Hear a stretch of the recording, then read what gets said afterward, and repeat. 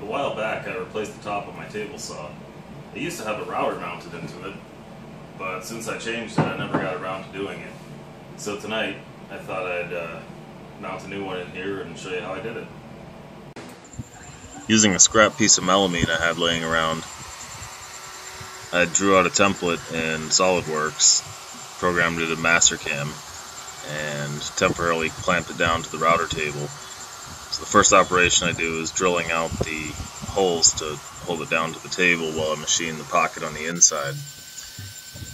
I'm using a quarter inch down shear bit that's doing a peck cycle at 0.2 inches uh, per peck.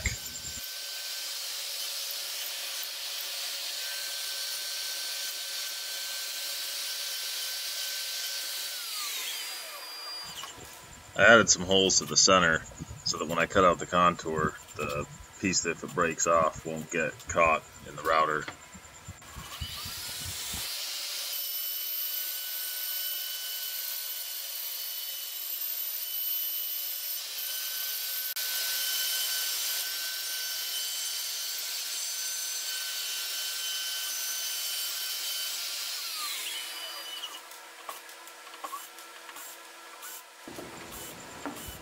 Once it was finished machining, I realized that I added tabs, and I didn't really need those screws that I put on the center, but it certainly doesn't hurt to have them there.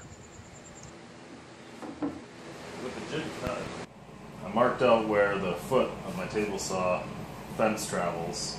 I didn't want the hole of the jig to land right where that foot is, so I offset the center about a half inch, drew out the plate on here where it's going to mount, and then aligned the jig to that. I'm just going to stick it down with some double stick tape and route the pocket.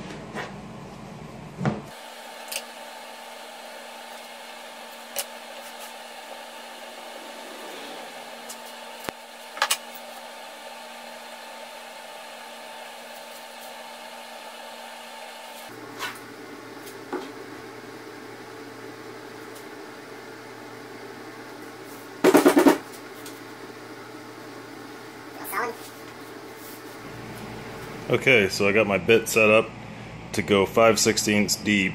The plate on the router is actually only a quarter, but I'm going to put screws in each corner to help with alignment and adjustment. Um, I'm using a quarter inch bit because that's the only down shear I have, but I only have to go, so I get my fingers out of the camera, I only have to go about an inch back from here because I'm going to cut the whole center out with a jigsaw when I'm done. So a quarter inch bit won't be that bad.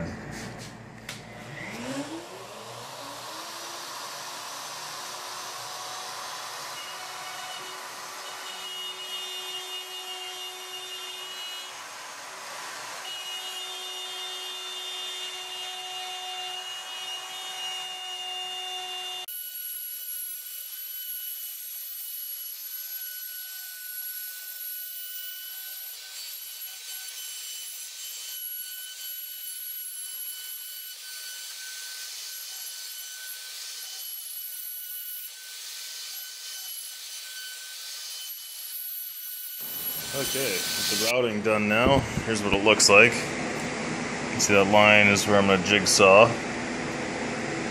To put the holes in the corners there where the X's are.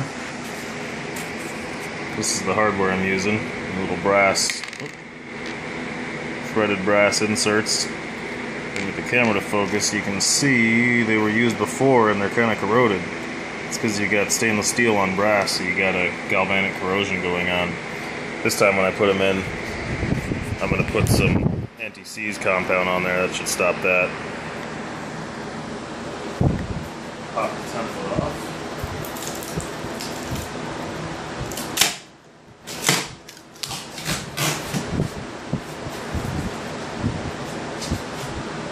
really well.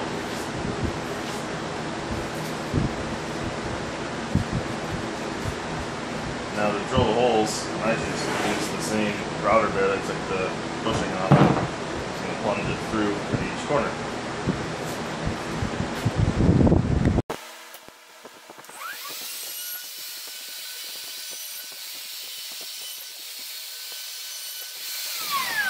Okay, the holes drilled, I'll just screw these in. Hopefully that was the right size bit.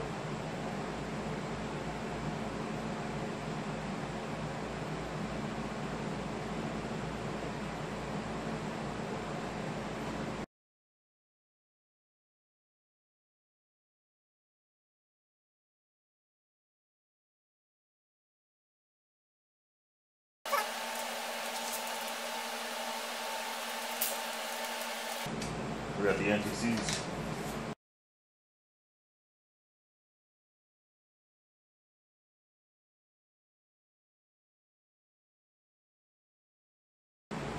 Now I just have to cut out the center. Okay, cut out the center. I got my jigsaw here. It's kind of a coarse blade, but I don't have a finer one right now. Should be fine. You won't see it. Drill a hole to get it started.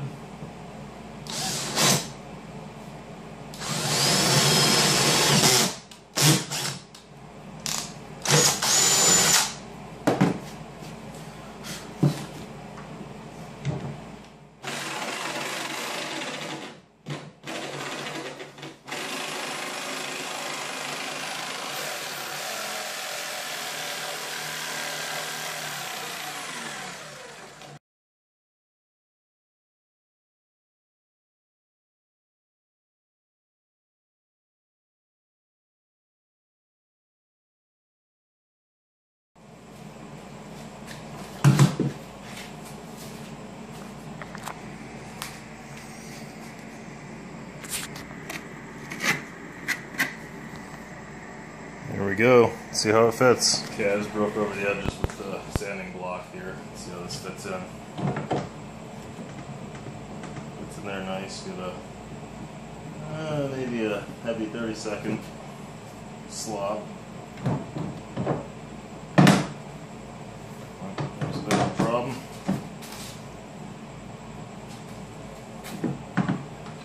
Handle sticks out here a little more than an inch, so I'm just going to notch that back a little.